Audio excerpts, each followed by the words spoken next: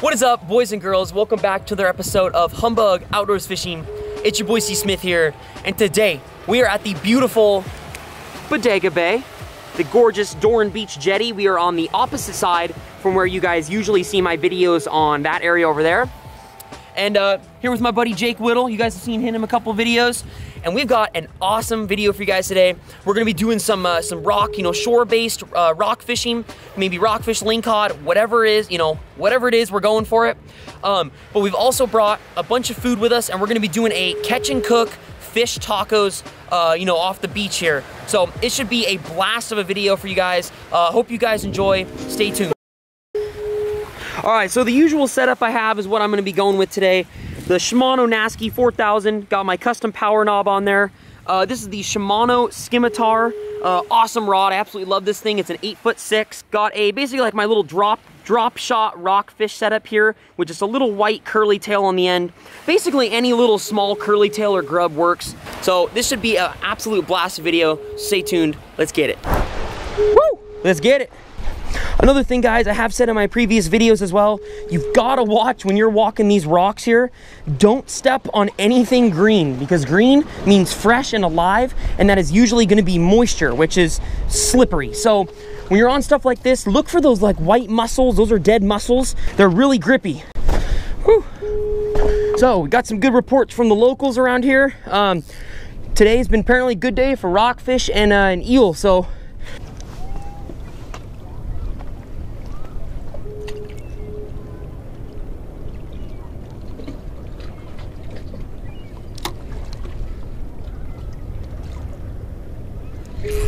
Got one. Good, good one, good one. Yep. Yes, that's a keeper, Bo.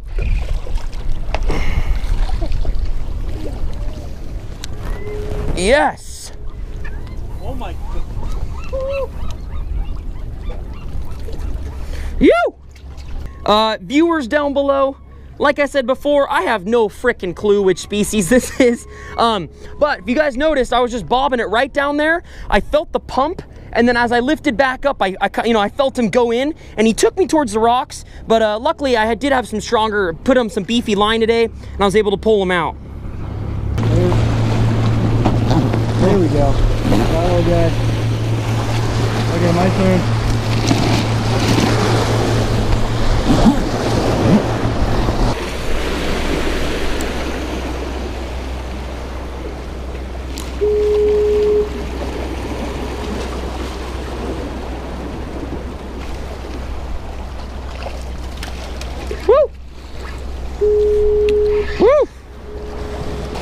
Still not a not a keeper. We're gonna we're gonna release these guys. I only want them as big as the uh, you know, basically like an extra, I don't know, three or four inches on these guys, and I'll keep them. But uh, for now, the smaller guys, they are gonna go back in where they came from. Woo! Heads up, buddy. Woo! Oh, there's a hole.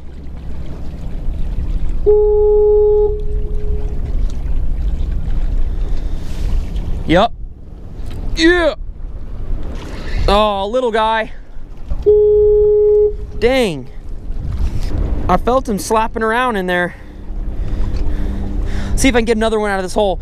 We're at the very end of the jetty here, and it seems like there's a lot of deeper holes in this stretch. So uh, we're gonna give this stuff a little more of a try here. I do wanna go, uh, you know, I wanna cook this stuff up before dark. So we aren't gonna probably stay for too long. We definitely still wanna make a, you know, a day out of this and have some fun.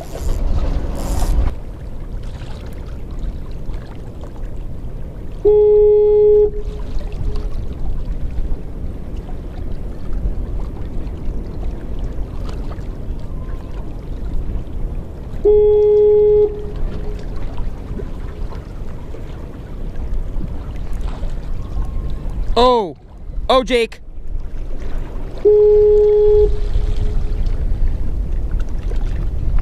It's an eel, it's an eel. It's a big old eel. Oh my gosh. No freaking way. Oh God.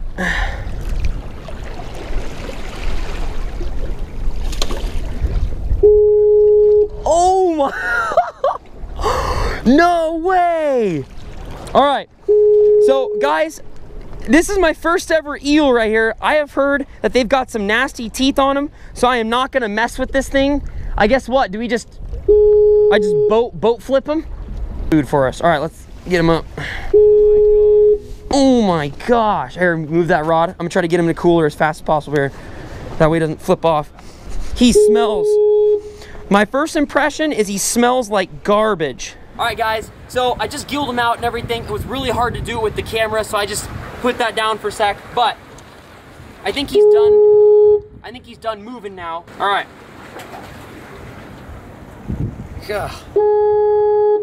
What an odd fish.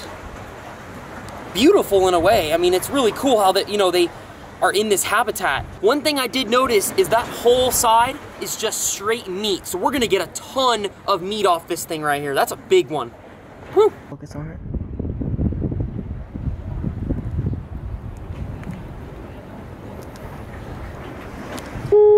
My buddy Jake here finally got his rockfish for the day, so uh, we are gonna bring these guys in right here and uh, get them cooked up. So we've got a little trek back, but it's gonna be well worth it. These guys are gonna taste exceptional. So, yeah.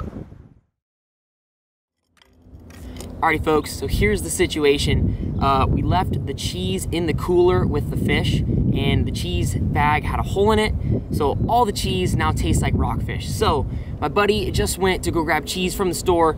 Uh, he's almost back, so I'm gonna start putting the rockfish and eel uh, on the uh, on the stove here. So I will show you guys everything. Once he gets back, he'll be able to hold the camera and we'll get the rest of it uh, put up for you guys. Alrighty guys, so here is the, uh, I believe those two are the rockfish, and then I cut the eel up into a lot of different chunks. Um, we did save, I put a little bit of eel away in the cooler. Uh, I was gonna bring some home for the family, um, but we got this right here. Did a little bit of salt and pepper on the top. We got the stove right here. I got a ton of butter. We got tons more butter here. Um, we're just going straight butter with this. So, uh, it's time. Is that not the most beautiful thing you have ever seen in your life? Is this not the best thing we've ever done? Second most beautiful thing you've seen in your life. Oh my gosh, and you're taking up all my light in the shot. Oh, sorry. Gosh, been just smiling. That is terrific. I like this, the spiciness with the pepper mm-hmm. definitely helps when I put, you know, because I put a lot of pepper on top of it. yeah. Oh, it's a little spicy. It's honestly, I could use a little bit of milk. Like, alrighty, guys, two down, one to go. Wow. Um, I did do a horrible filleting job, so I did not get all the fish. I forgot a flame board, and I didn't want to use the table because this is what everybody like eats on and stuff. So I had to do it down on the rocks down there. It wasn't the best, definitely not. I always forget something, and that was a really crucial thing to use. Um, but we did get a lot of it. I cut a lot of it off the fish, and I made sure not to waste, you know, too much. Um, but when we just slam those, I mean, I, I'm on three, he's on three, and we loaded him up with fish in there. But absolutely incredible, guys. That was incredible. That was this is some of the best meals and experience uh, I have had. So if you guys enjoyed the video, please make sure to give it a like, comment, subscribe, do all the stuff you're supposed to do for a YouTube video, and we will see you guys next time on Humbug Outdoor. Oh my gosh. They're spicier than I thought. yeah. Um, I think it's I think it's a combination of the pepper, I think the pico de gallo's got some kick, and this may have some, it may be a triple threat there. medium